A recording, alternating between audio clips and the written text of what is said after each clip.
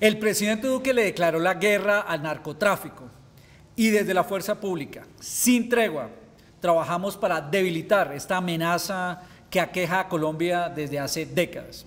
Hoy quiero anunciarle al país el más importante golpe al narcotráfico del ELN en este año, con la incautación de 6 toneladas de clorhidrato de cocaína en Nariño. Este golpe afecta las finanzas de este grupo criminal, narcotraficante y terrorista. Esta operación fue desarrollada de manera conjunta entre el Ejército Nacional a través del Comando contra el Narcotráfico y las Amenazas Transnacionales, CONAT, la Tercera División del Ejército, la Fuerza Aérea y el Cuerpo Técnico de Investigación CTI de la Fiscalía. Se dio en la vereda El Decio del municipio de Samaniego. Quiero destacar en especial los resultados este año del CONAT, un comando que lanzamos y desde el día en que fue creado ha dado importantes golpes al crimen del narcotráfico por todo el país. La incautación se dio en un gigantesco complejo para la producción de sustancias ilícitas, que dejaba una rentabilidad de más de 8 millones de dólares al mes.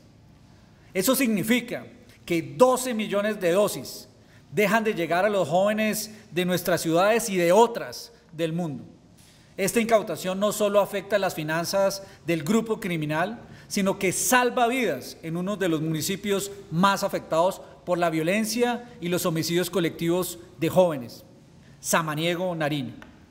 Nuestra fuerza pública, soldados y policías de Colombia, siguen sin tregua en la defensa de la democracia, en la defensa de los colombianos, en la defensa de todos los municipios y las regiones que son afectadas por esta amenaza que busca destruir vidas, destruir el medio ambiente y afectar la tranquilidad y la salud de los jóvenes colombianos.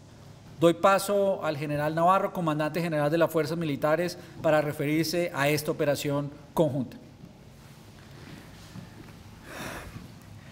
Gracias, eh, señor ministro. Esta es una muestra de que la política de seguridad y defensa nacional determinada por el gobierno del señor presidente Iván Duque y por el señor ministro de la Defensa Nacional, doctor Diego Molano, nos hace que unamos capacidades conjuntas de fuerzas militares, como es en este caso el Ejército Nacional, la Fuerza Aérea Colombiana, y coordinando de una manera precisa la investigación judicial y judicialización de estos laboratorios con el Cuerpo Técnico de Investigaciones de la Fiscalía General de la Nación, que nos permite desarrollar esta importante incautación. Eh, estos complejos se encontraban ubicados en el área base del Frente Comunero del Sur del ELN de la Compañía de Milicias Jaime Toño Obando de este grupo armado organizado.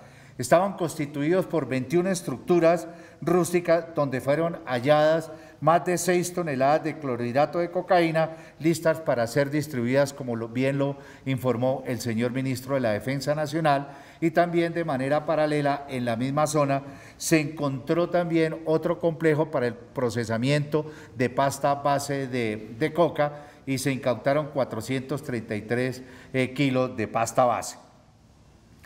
Eh, este resultado nos muestra que mediante una inteligencia clara y articulada pudimos llegar al corazón de esta estructura del ELN y se han golpeado las finanzas eh, de esta organización narcotraficante y terrorista. Los avances este año en la lucha contra el narcotráfico son claros y contundentes. Entre el primero de enero y a la fecha, las incautaciones de clorhidrato de cocaína aumentaron en un 27% al mismo periodo del año anterior.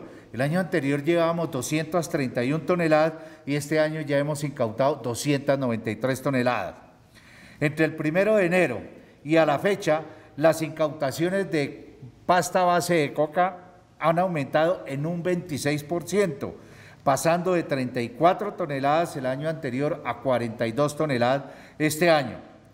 Entre el primero de enero y la fecha, las incautaciones de hoja de coca han aumentado en un 6%. Pasamos de 308 toneladas a más de 326 toneladas. Entre el primero de enero y a la fecha, las incautaciones de marihuana han aumentado en un 34%. Eh, el año pasado llevamos incautadas 236 toneladas y este año ya llevamos 315 toneladas. Esto muestra la efectividad en la lucha contra el narcotráfico, que es el principal combustible de los hechos que afectan a nuestras comunidades y que atacan el medio ambiente, el agua y la biodiversidad. Gracias, señor ministro.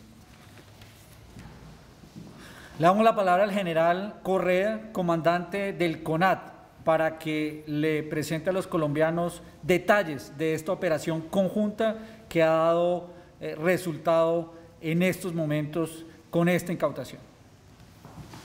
Muchas gracias, señor ministro. Esta operación nace con un trabajo excelente de nuestra inteligencia militar, quienes logran ubicar en todo el corazón del ELN en Nariño un complejo de laboratorios para el procesamiento de alcaloides Después de un detallado planeamiento conjunto interagencial con nuestra Fuerza Aérea y el CTI, realizamos una operación de asalto aéreo en esta región del país, donde las condiciones de terreno y clima son bastante complejas, pero gracias a la pericia y las capacidades de nuestros pilotos y nuestros hombres de asalto, se logra efectuar. Después de ubicar los tres laboratorios durante más de 72 horas en este terreno, se logra la destrucción y la incautación de más de 6 toneladas de clorhidrato de cocaína. Con esto el CONAT ha sido cumpliendo con los lineamientos y las razones para su, fundación y ha logrado en lo que va del año la incautación de más de 48 toneladas de clorhidrato, afectando las estructuras criminales y protegiendo la seguridad y la defensa de la nación.